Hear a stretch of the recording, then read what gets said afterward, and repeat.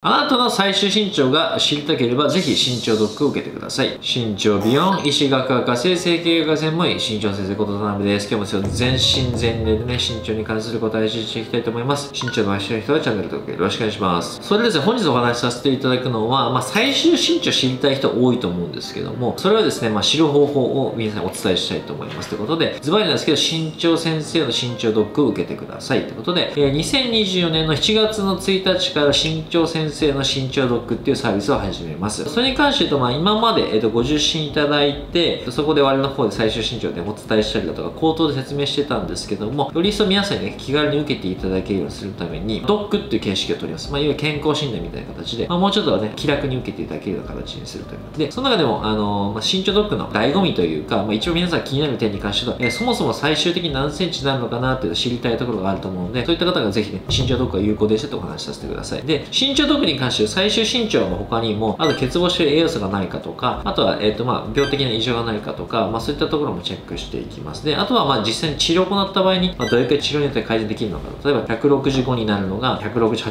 170に違うってできるのか、それとも、治療しても165、165のものなのかとか、で、そういったところも記載したの身長特をお渡ししていきますので、まあ、ぜひね、まずは皆さん、ね、身長特ので受けていただいいかなと思いますので、まあ、少しも身長気に入ったら、まずは身長特ですよね。まあ、それでも最終身長を知りたい人、そういった人もぜひね、身長特受けていただくといいかなと思いますので、ぜひ参考にしてください。それではまた。